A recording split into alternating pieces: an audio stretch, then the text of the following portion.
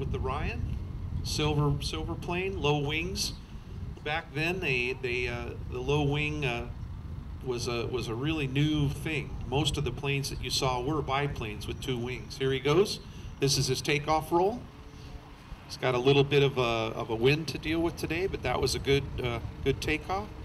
Again, that's a Ryan ST. Notice it's very quiet. That's an electric aircraft, so the gas the gas will be a little bit noisier. You'll see uh, Steve and, and Tim over to the left of Airshow Center getting the control line stuff ready next.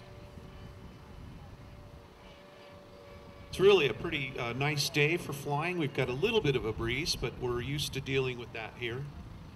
And usually the breeze is uh, from the north, so our pattern is right to left. These planes like to take off and land into the wind.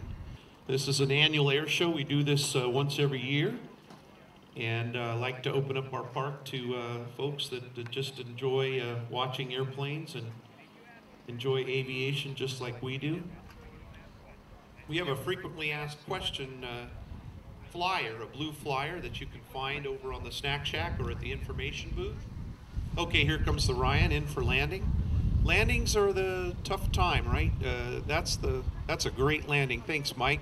Let's give Mike a round of applause, shall we?